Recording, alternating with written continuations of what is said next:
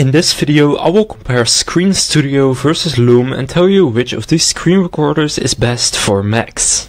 Now the video you're watching right now is actually recorded using Screen Studio and you will see if I go and highlight something, for example this text, then it will zoom in on it. Now I didn't edit that, that is just what Screen Studio does automatically.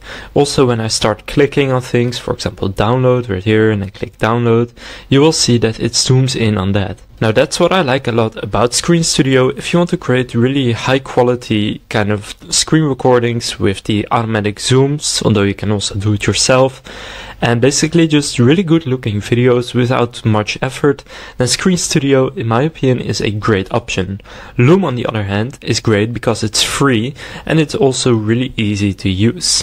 What I also like a lot about Loom is that you can just create a link to your video so that you don't have to download your video yourself and then upload it somewhere to get a link, but you can just share the link and then people can watch it on the Loom platform. So that's something that I like a lot about Loom, but I think if you're looking for for the option that will let you create the best looking videos, I would go with Screen Studio, although Screen Studio at this moment does cost a one-time fee of $89 or $189. Pay the $89 you get one Mac OS device, and for the extended here you get three Mac OS devices.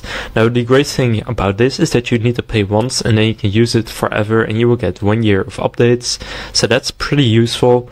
And Loom does also have paid plans, but the free plan gets you up to 25 videos per person and up to 5 minutes per video.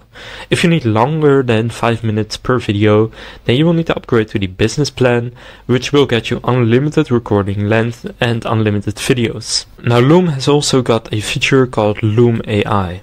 So you will see right here kind of what it does. So you record it, Loom AI writes it for you.